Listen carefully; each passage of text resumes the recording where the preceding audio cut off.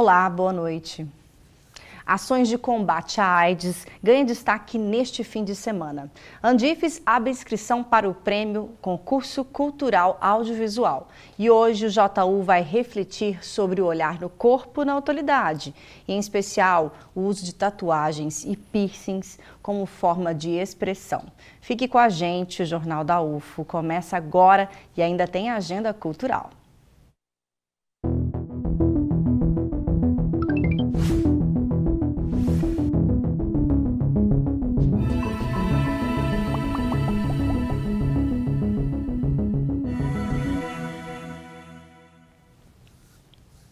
Há 30 anos, a Assembleia Geral da ONU e a Organização Mundial da Saúde instituíram o dia 1 de dezembro como Dia Mundial de Luta contra a AIDS. Em Uberlândia, uma iniciativa conjunta de algumas instituições preparou algumas ações para celebrar essa data. Quem traz as informações é o repórter Fernando Cunha.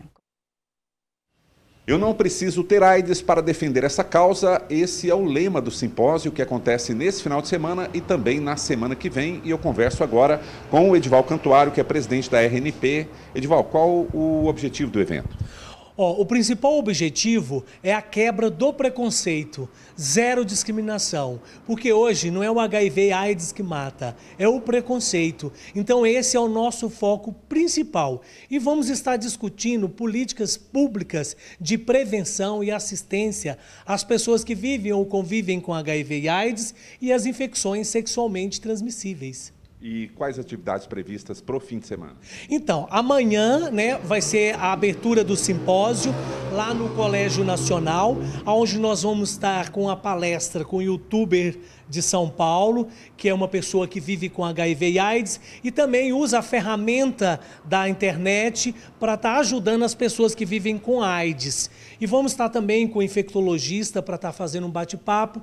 Vamos falar sobre o corpo, mente da pessoa que vive com HIV e AIDS. E domingo no Parque do Sabiá. Aí domingo é a nossa grande caminhada. Vamos caminhar contra a AIDS, né? É o dia oficial, 1 de dezembro, Dia Mundial da Luta contra a AIDS. Então vai ser uma grande caminhada. Estou muito satisfeito porque nós já estamos aí com mais de 600 pessoas inscritas e lá nós vamos ter shows artísticos, vamos ter dança e depois a gente faz a nossa caminhada oficial contra a AIDS. E na semana que vem, atividades na Universidade Federal. Isso, aí continua. Na segunda-feira, a gente vai estar lá no bloco, no anfiteatro do bloco V, né, vamos estar passando um documentário, um lançamento desse documentário sobre toda a história do HIV, da AIDS no Brasil. É muito bacana esse documentário e na terça-feira nós vamos ter uma roda de conversa também falando sobre como viver, como ter enfrentar né, a doença pós-positivo HIV. Ok, muito obrigado.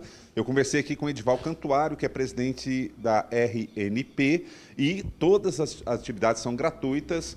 E mais informações pelo telefone 3216-3181 ou 991260170. Fernando Cunha para o Jornal da UFO. Utilizar o próprio corpo como suporte para expressar as ideias. Né? O que uma tatuagem representa, o que um piercing representa? A arte corporal está cada vez mais presente na, nova, na nossa sociedade moderna. Apesar dessa cultura não ser de hoje, a novidade é que as pessoas estão se sentindo cada vez mais à vontade para se expressarem através do corpo. Veja na reportagem que é destaque no JU de hoje. A vontade de colocar um piercing começou logo cedo, aos 13 anos. Laura tomou essa decisão, teve autorização dos pais, mas na época quase se arrependeu. Furei a cartilagem a primeira vez e morri de medo. Na hora que o cara estava marcando, eu estava quase desmaiando, isso com 13 anos. E aí depois que ele furou, eu pensei, ah, é uma dor tolerável, ok. Aí eu fui, furei, já fiz dois, né? E depois de um tempo, é, surgiu a moda do piercing no nariz e eu falei, por que não, né? Não tinha dinheiro, minha mãe não queria autorizar, furei em casa. Não recomendo. Deu certo? Deu, mas podia ter dado muito errado. Depois de um piercing, vieram vários outros. Laura não parou mais e colocou mais um durante a nossa reportagem. algo que para ela nem sempre tem um significado. É aquele negócio, né? Ah, porque tem que ter um significado, porque tem que ter um porquê. Não, não tem que ter um porquê. Se você quer fazer, você faz. Isso já é o principal porquê. Não é por uma cicatriz, não é por um momento, não é por um significado. Hoje em dia é comum ver por aí pelas ruas pessoas que usam piercing. Há histórias antigas espalhadas pelo mundo onde o piercing já existiu. Por exemplo, no Antigo Egito, há registros de 3 mil anos antes de Cristo, onde as pessoas usavam enfeites pendurados no umbigo. Para os faraós, por exemplo, isso era um sinal de posição de poder. Quem vive da arte é a Isabela. Há sete anos, ela começou fazendo tatuagens e depois o piercing virou uma paixão. A artista corporal destaca a importância estética do acessório no corpo. É realmente uma questão estética, assim, uma questão para a pessoa se sentir bem. Às vezes cobrir algum trauma, alguma cicatriz ou alguma coisa que não gosta no rosto ou no corpo. Às vezes a pessoa me procura para fazer um piercing para corrigir isso ou simplesmente para se sentir bem mesmo, né? Porque é bonito e é legal. E como todo profissional, Isabela também passa por dificuldades e até mesmo preconceitos. É, antigamente era muito marginalizado, né? Tanto o piercing quanto a tatuagem. Mas os tempos vêm mudando, as pessoas vão tendo mais conhecimento, assim como é, mudou muito o procedimento, né? A questão da biossegurança. Tudo vem mudado, então isso vem facilitando é, tirar esse mito de que é uma coisa marginalizada ou uma coisa que, tipo, ah, você tem um piercing, você não vai arrumar um emprego ou algo do tipo. Mas o trabalho não é tão simples assim.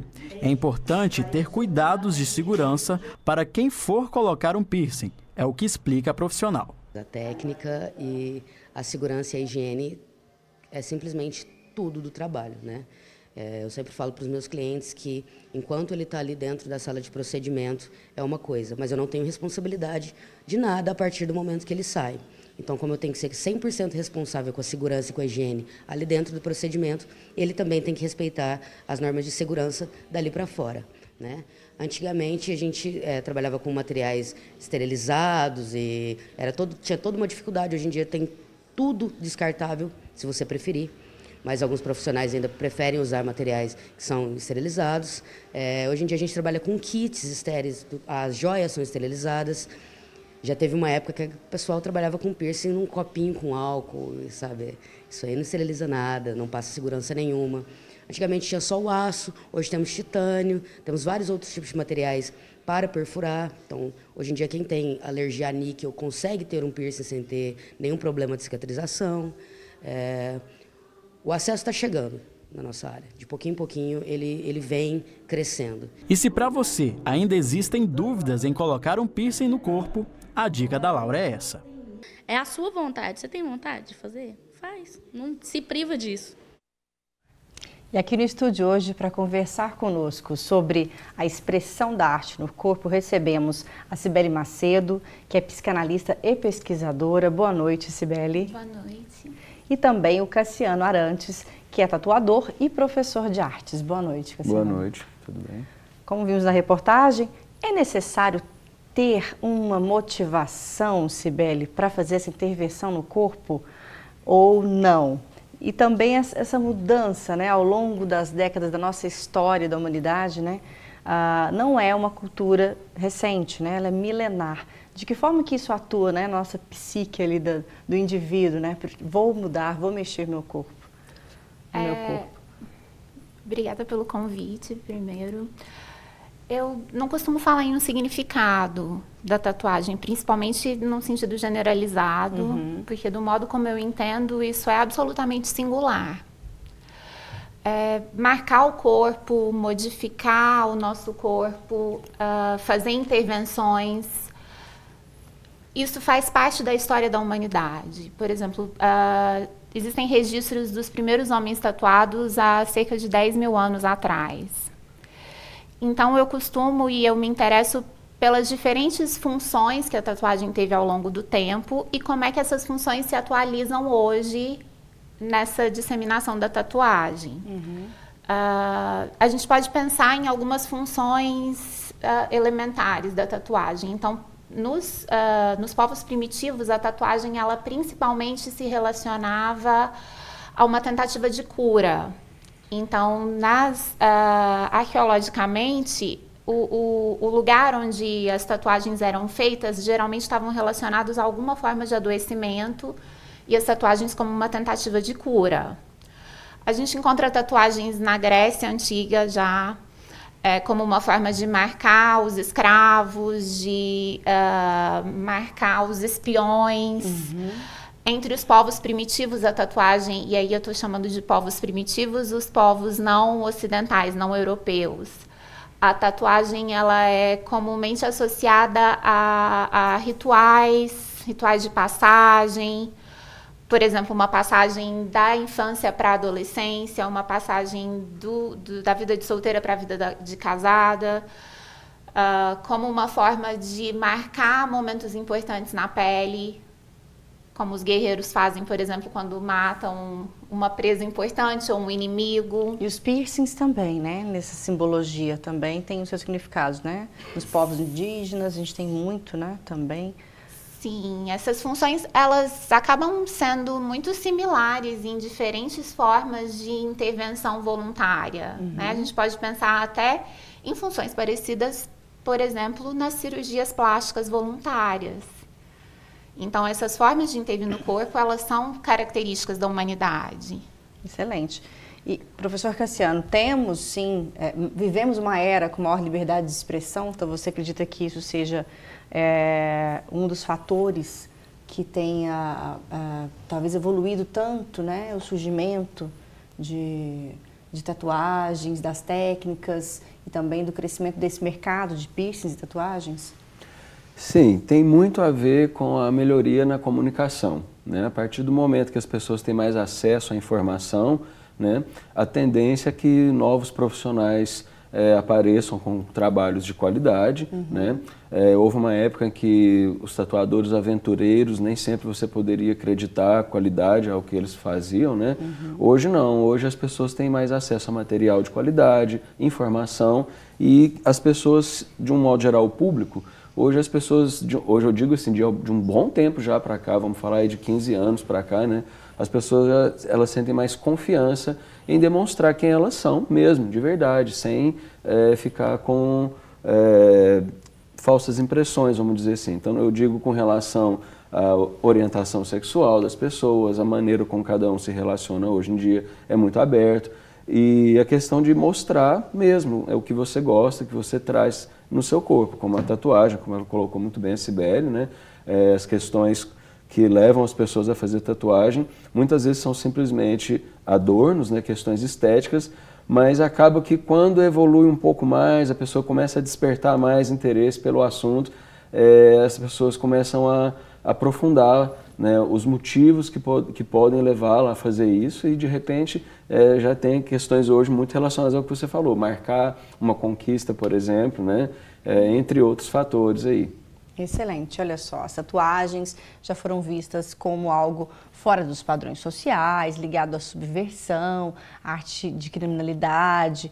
No entanto, com o passar do tempo, uh, isso mudou né, e tornou-se voltado a uma comunicação visual, que tem novos sentidos, inclusive na prevenção, na reparação e de, até de tratamentos de doença. Então, confira na reportagem de Fernando Cunha com imagens de Lucas Cardoso mais sobre esse assunto.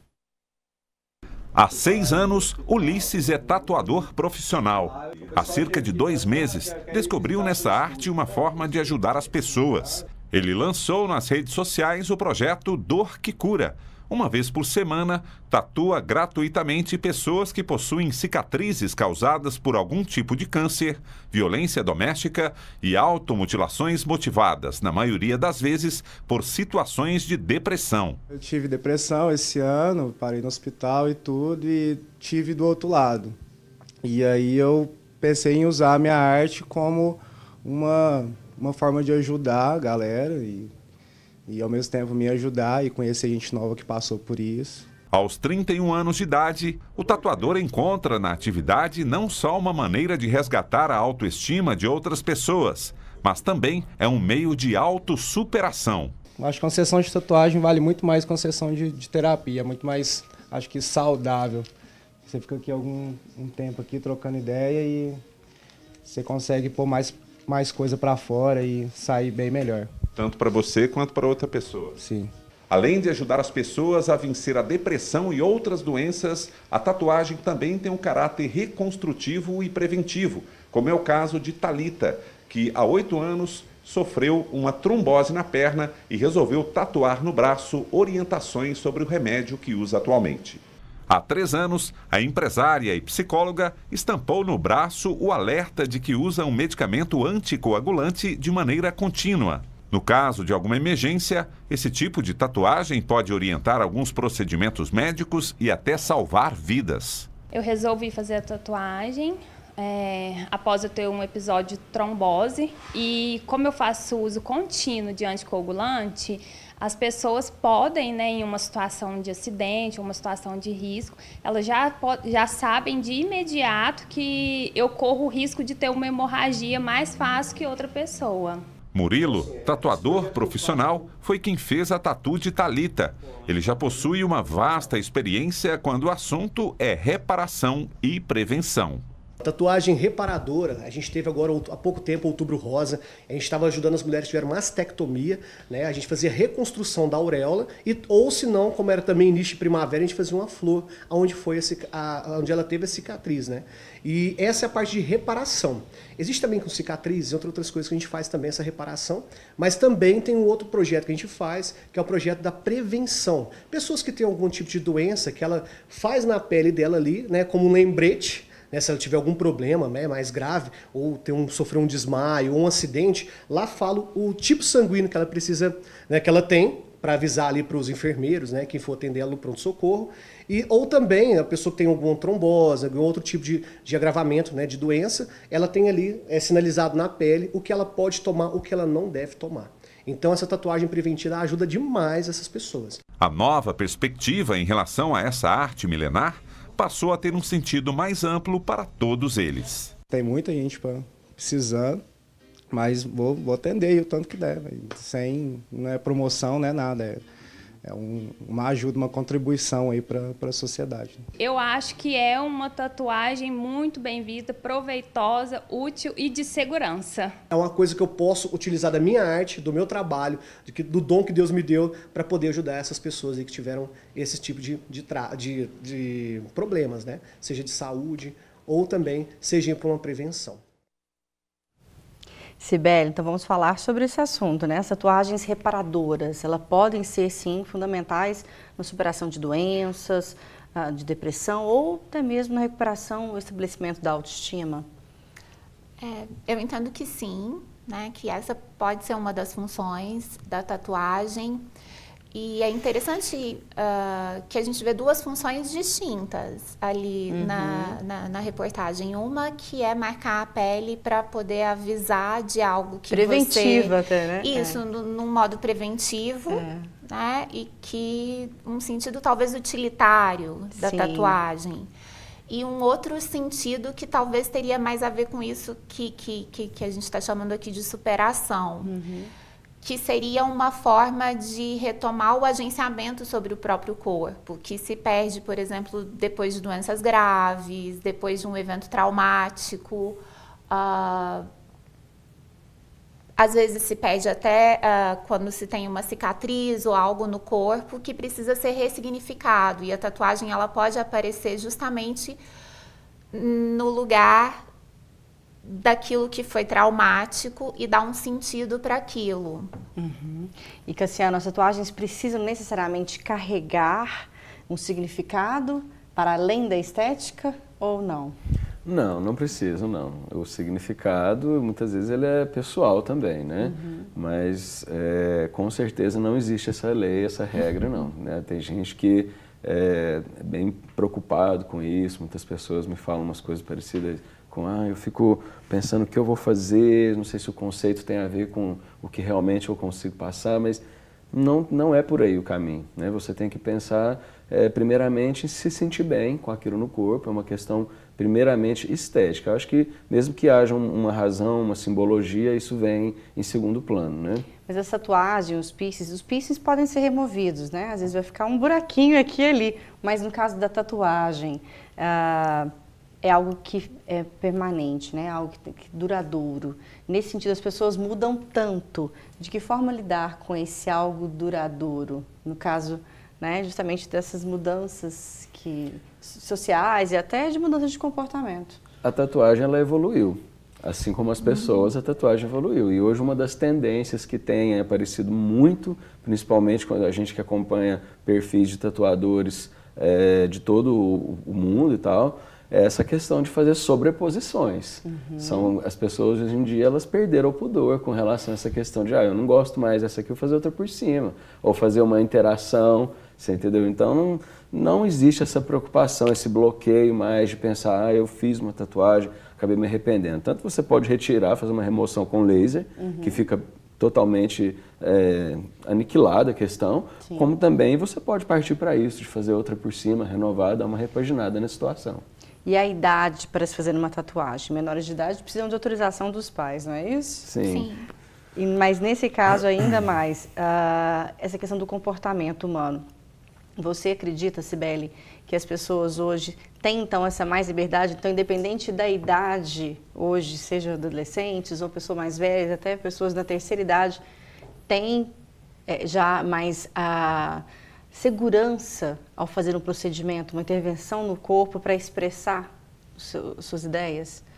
Acho que isso tem tanto a ver com a evolução da técnica, como o Cassiano falou, né? que a gente tem uma técnica que evoluiu de um pedacinho de osso batido com martelo para o que hoje é algo ao nível cirúrgico, quanto à forma como nós lidamos com o corpo. Então, a gente não pode dizer que o modo como se lida com o corpo na contemporaneidade é o mesmo modo como se lidava com o corpo na modernidade uhum. ou há 50 anos atrás. Existe uma liberdade, uh, talvez liberdade não seja a melhor palavra, mas os limites do que se pode fazer com esse corpo, eles estão praticamente inexistentes. Né? E eu acho que isso aparece também na forma como se lida com essas marcas que deveriam ou eram a princípio definitivas, mas que agora elas podem ser substituídas, ressignificadas, redesenhadas, apagadas, como se pode fazer com outros modos de intervenção corporal. Legal. Agora é hora da gente saber como fica o tempo nesse sábado. Confira a previsão para Uberlândia e outras cidades da região.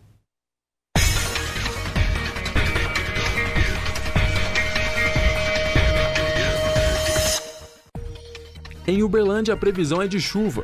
Os termômetros apontam mínima de 18 e máxima de 25 graus. O sábado em Patos de Minas também deve ser de bastante chuva. As temperaturas variam entre 18 e 25 graus. Em Monte Carmelo também há previsão de chuva. A mínima prevista é de 21 graus e a máxima de 27. Em Tuiutaba, a mínima fica em 21 graus e a máxima 30, e também deve chover. Na cidade de Araguari, a previsão também é de chuva mínima de 20 e máxima de 25 graus. E hoje é sexta-feira, dia da nossa agenda cultural, então confira as dicas para aproveitar bem o seu fim de semana.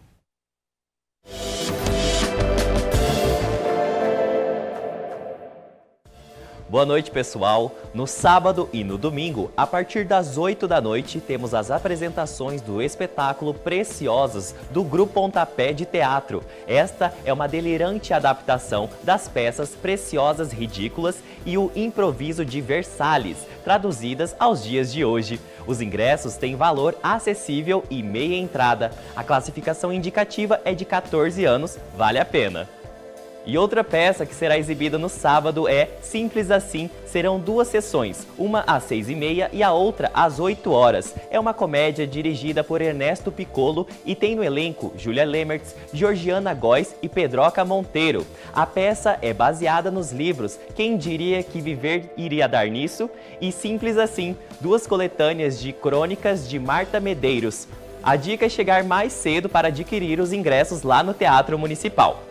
E ainda no sábado acontece o primeiro encontro de jovens produtores culturais de artes negras. O objetivo é socializar os resultados das ações realizadas durante todo este ano e realizar um dia especial em comemoração ao mês da consciência negra. A programação tem exibição de documentário, roda de conversa e apresentações artísticas de jovens artistas em atividade na cidade. O evento começa às quatro da tarde, é aberto e gratuito. Mais informações informações você encontra no evento Jovens Produtores de Artes Negras no Facebook. E agora você confere outras dicas para quem prefere ficar em casa no final de semana. Meu nome é Laís e a dica que eu dou é assistir a série da Netflix que chama Pacto de Sangue. É muito legal e vocês vão gostar. Meu nome é Gabriel, a minha dica é assista o Manual do Mundo é, no YouTube. Fala sobre ciências, tecnologia, dicas em geral. Meu nome é Igor e minha dica é a série Breaking Bad. Ela fala sobre a produção e sobre as consequências do uso de drogas. Essas foram as sugestões na nossa agenda cultural de hoje. Até mais! Excelentes dicas. E olha, tem mais. Nesse sábado acontece a 25ª edição do recital de poesias da Escola de Educação Básica da UFA, ESEBA. O tema do evento será sobre as línguas e as culturas dos povos indígenas. O recital está previsto para começar às sete e meia da manhã no anfiteatro do Bloco 5S do campus Santa Mônica da UFA. A área de língua portuguesa da escola será responsável pela, pela realização do evento que é gratuito e aberto a toda a comunidade. E olha só, outro recado: estão abertas as inscrições para o primeiro concurso audiovisual da Andifes, com o tema Universidade Pública, Gratuita e de Qualidade, Patrimônio do Povo Brasileiro. As premiações variam de R$ 1.500 a R$ 5.000. Veja o vídeo de divulgação do concurso. Fala galera, beleza? Estou passando aqui para saber se você já se inscreveu para o primeiro concurso de vídeos da Andifes. As inscrições começaram no último dia 21 de novembro e vão até o dia 31 de janeiro de 2020. As informações completas você pode conferir no site da Andifes ou na assessoria de comunicação da sua universidade. E aí, está esperando o que para participar e ajudar na defesa da educação pública brasileira?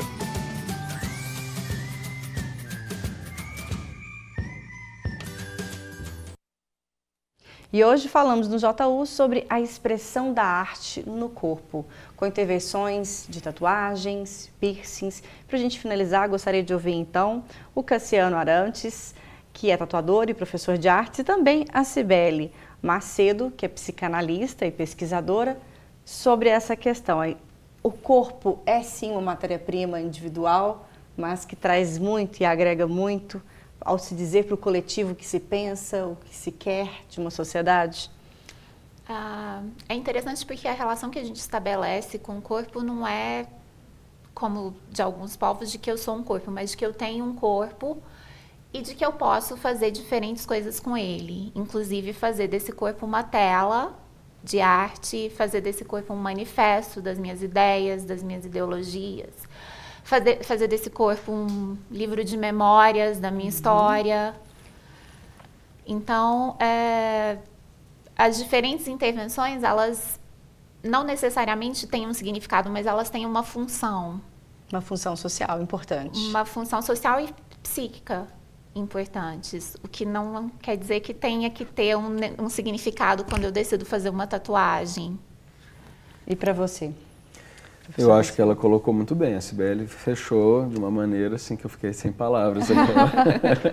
Mas assim. O que significa para você então essas intervenções, né? O, corpo como uma tela. Isso. Para mim sempre teve uma questão assim. É, eu sempre fui um pouco desprendido de, das modas, né?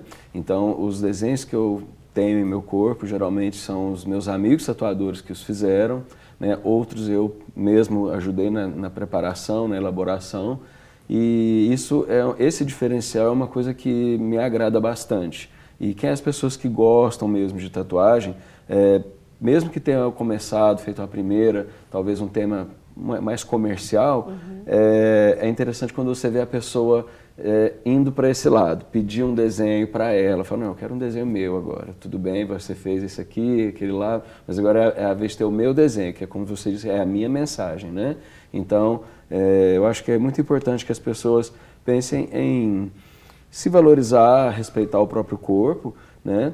E fazer bem feito. Nesse negócio de deixar o corpo ser a área de teste dos outros, isso aí é Não complicado, pode, né? né? Procurar você bons tem que- profissionais Sim, sempre, tem que né? procurar o tatuador que é profissional, tem que conhecer o trabalho do tatuador antes de entregar a pele ali e ter muita confiança no que está fazendo.